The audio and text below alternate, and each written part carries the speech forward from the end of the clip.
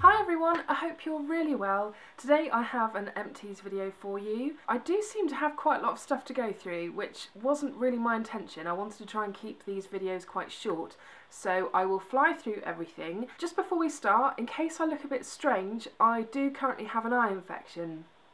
Yay! So I've got most of my makeup on, but no eye makeup at all, which is just weird. I just don't feel finished at all. I have such puny lashes, they need all the help that they can get. So I don't know, I just feel like I look really odd right now. So that explains that. I don't know when I'm going to be uploading this video, so for context purposes, I apologise if everything is a bit weird. I have so many videos that I need to upload between now and Christmas. It's actually crazy and trying to fit them in is becoming a little bit of a challenge. So I don't know when this video is actually going to appear, but I figured it's just an empties video, so it's not massively important where it appears. Right, so like I said, I've got a few things to go through, so let's get stuck into what I've got. Okay, so the first thing I've got is this shower gel from Lush, and I don't know how to pronounce this. It's got a thing over the O. Does that mean you make a long longer sound? Is it Gloog? I'm not sure, but this is from a little while ago. What was the date on this? Oh, used by the 19th of January 2012. I don't own a time machine, so therefore this has taken me quite a long time to use. I think it is because it was obviously launched around Christmas. It's a very spicy seasonal shower gel. I'm not even sure if they did this one again. I'm assuming they probably have. Oh, it just smells warm and comforting and beautiful. It smells quite similar to the hot toddy one that they do as well and the colour of that stuff is amazing. It's bright red whereas this is kind of like a, a cola sort of brown colour. But oh, it smells spicy and delicious and gorgeous and it's a lovely shower gel. In fact, it's even described on the front as being warming and spicy, which I would totally agree with. So really nice one to use at this time of year. Next up in my empties, and I won't dwell on this one because I think it's probably appeared every single time, is this face wash from Simple and it's their Kind to Skin Refreshing Facial Wash Gel. Just briefly, I really like this one because like it says, it's very simple, nothing too complicated in there. So if my skin is feeling particularly sensitive or my eye region in general, then I reach for this because it's so kind and it just doesn't feel like it irritates. It's got quite a slippery, weird texture to it as well, which I really quite like. It doesn't foam too much. Um, it's just really lovely and it's always really cheap to pick up. I feel like Superdrug has this half price all the time, so it's a massive bonus. So really love this, we'll continue to use it. If you have sensitive, fussy skin like me, then this is lovely. Next up, I have something that I've been trying as part of my trying to look after my hair journey and it's a co-wash and it's one from Palmer's and this is their coconut formula one. This was weird. It's the first co-wash I've ever used, so it doesn't lather at all, but it does kind of still cleanse your hair in a conditiony kind of way. It's nice and cheap. I think I picked this up for about three ninety nine. It might have been on offer at the time but I think full price it's probably only about seven ninety nine. It's got a really nice authentic not sickly coconut scent to it. So it's really nice to use if coconut is your thing. If it isn't you probably want to steer clear of it. But you get a decent amount in here but you do have to use a lot. In fact wet hair and rinse thoroughly then apply 15 to 20 pumps. Uh-huh. A lot depending on your hair length I kind of found that my magic number was probably about 15 or 17 pumps if I'm being specific. And yes, I stood in the shower and literally went because that's just the kind of person that I am. I did enjoy using it. I'm not massively keen on coconut fragrances generally. I kind of get a bit bored of them quite quickly. So I did like this, and even though you have to use quite a lot, it did still last a long time. And the way I used this is this was my kind of every other day wash that I did, and then maybe once a week I would use more of a, I want to use the word stripping, but that seems like it was doing damage to my hair. But you know, something that would maybe get rid of all the build-up in my hair, so I'd use something like that once a week. So it's a really nice alternative. What I like about this is you can quickly wash and go as well. So you can use one product, don't necessarily always bother with conditioner unless my hair really felt like it was so dry it needed something extra. So just quickly pop this through it, give it a comb through, rinse out, and my hair just felt silky gorgeous. So it was a nice experiment. I am currently trying, there's a Palmer's uh, co-wash in, I think it's olive, olive oil, something like that. I'm currently using that one and oh, I really like that one. So I'll probably have featured that in a best and worst of beauty if that's been uploaded before this video. Next I've got a couple of cleansers and they're both from Mario Badescu. Still don't know how to pronounce that name. No one has still corrected me so I have no idea if I'm saying this name right or not. I've got the Botanical Facial Gel and the Orange Cleansing Soap. The orange cleansing soap looks like there's still some in there, which to be fair, I could probably get another use out of this. But because it's a creamy one, I had to put some water in there to try and get the rest of it out. So there is a little bit left in there, but hey, I think I can live with the little residue that's in there.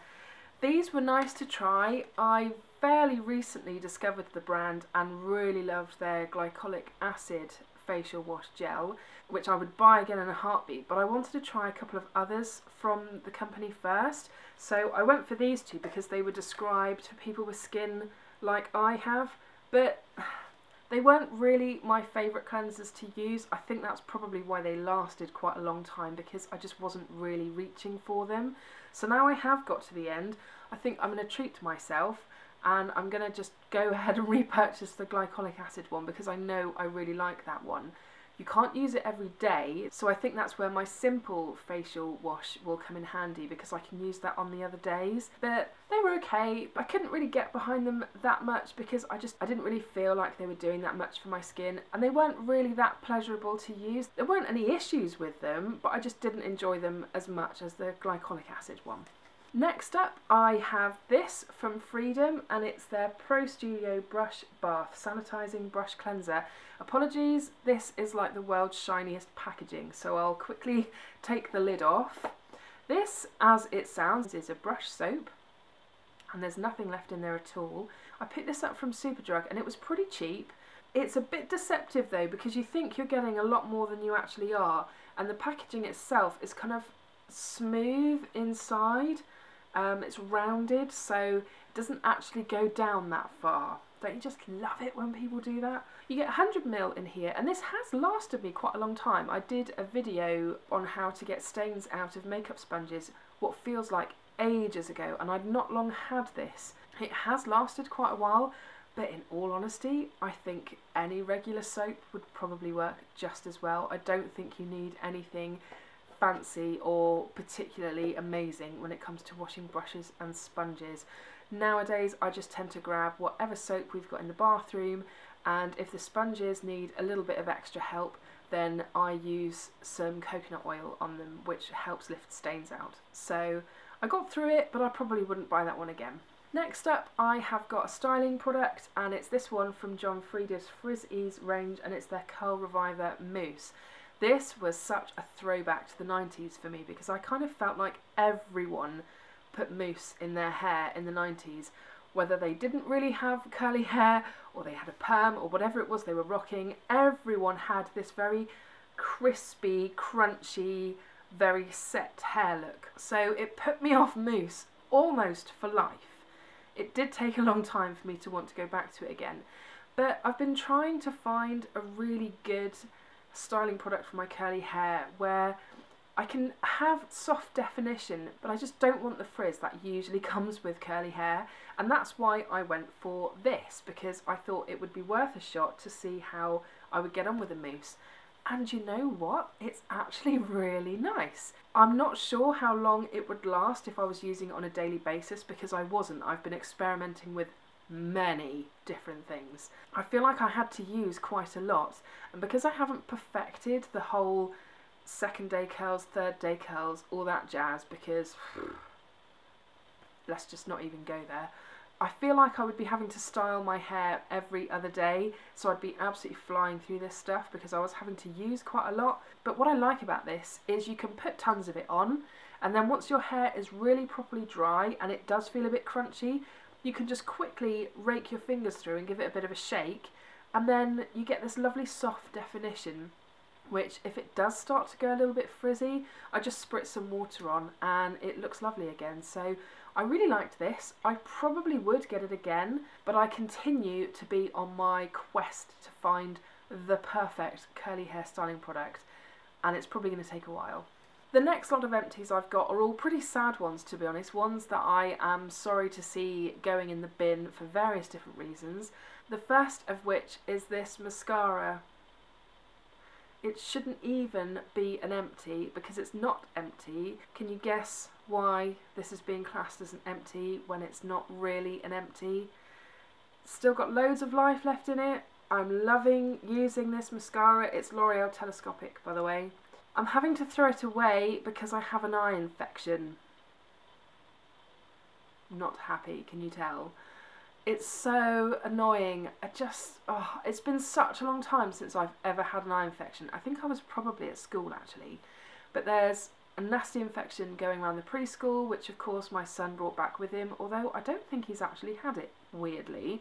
He's just kind of given it to me and my husband, which was lovely. So we've both had it. It's horrible waking up in the morning with not even bloodshot eyes, we're talking proper zombie pink eye horribleness and then you're having to walk around and continue with your daily life as you have to, and people are looking at you like you've just been crying for about 12 hours. It's just lovely. So, yeah, I'm having to throw this one away. It is sad, but I do have lots of mascaras left in my little stash to try out, so that's good in some respects. So when this is finally cleared up, I can crack one of those new ones out, which is both exciting and a little bit nerve-wracking all at the same time. Um, plus, it puts me in the position to maybe buy something new because I'll need another backup. That's great justification. So if you have any suggestions of mascaras for me to check out, pop it in the comments and I will take a look. Next up in my empties that I didn't want to see go is this moisturiser from Estee Lauder. It's the Advanced Time Zone Moisturiser. There are a few different reasons why I'm sad to see this go. All gone. There's literally nothing left. It's lasted a really long time. It's extremely moisturising, so I cannot use this during the day. My oily skin just cries if I do, literally. I use it at night as a night cream and you need the tiniest little bit and you you wake up in the morning and your skin just feels rested and plumped and just delicious. One of the reasons why I'm really sad to see this moisturiser go is because I didn't actually pay anything for it and I believe this stuff is about £55 which that's a lot of money to spring to for a moisturiser. There is a bit of a story that goes with this. I placed an order with Estee Lauder a very long time ago and it went completely wrong Everything that you can imagine that would go wrong with an order went wrong with that order. I was constantly having to speak to customer service about what was going on with it. It was a nightmare. So it eventually came down to someone saying to me, We're going to send you an apology gift. And I thought, Oh, that's lovely. It'll probably be a few samples or something. And then this bad boy arrived. And I opened the package up and I was like, What? That's amazing. They'd also sent me the one, actually this is for normal combination skin.